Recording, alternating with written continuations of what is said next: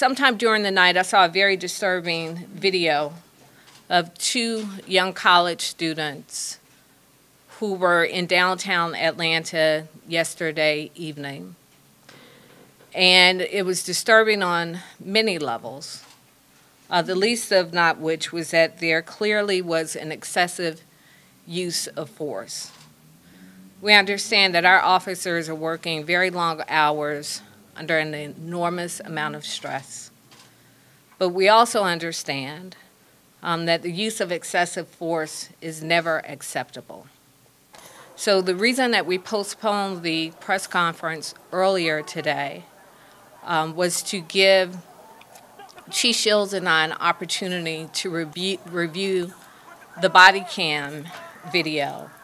Uh, there were five officers involved in this incident, so it took quite a while. Um, many of you all know in my former life, or I'm, I'm, still a lawyer, I still have my law license.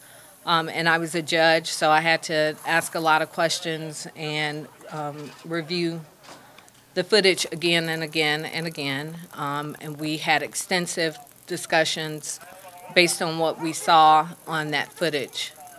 Um, after review of that footage, um, Chief Shields and I have made the determination that two of the officers involved in the incident last night will be terminated immediately.